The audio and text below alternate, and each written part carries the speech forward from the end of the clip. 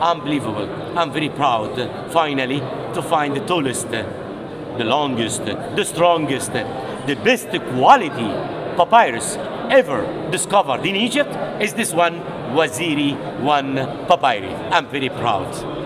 اکنون بیش از یک دهه است که مصر در حال ساخت یک موزه پیشرفته در نزدیکی اهرام است. موزه‌ای که قرار است ده ها هزار اثر باستانی را در خود جای دهد.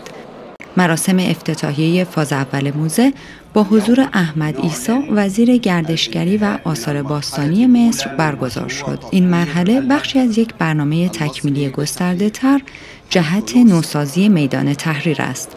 مجموعه 120 ساله که در مرکز شهر قاهره پایتخت مصر واقع شده است.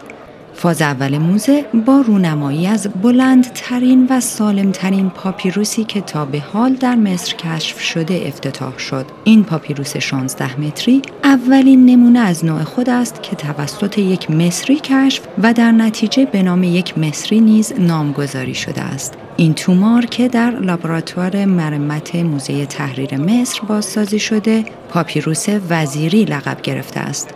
پاپیروس وزیری که سال گذشته کشف شده و اکنون برای اولین بار به نمایش گذاشته می شود حاوی حدود 113 تلسم از کتاب مردگان است که شامل مجموعه ای از نوشته های مذهبی و متون مربوط به تشییع جنازه می باشد.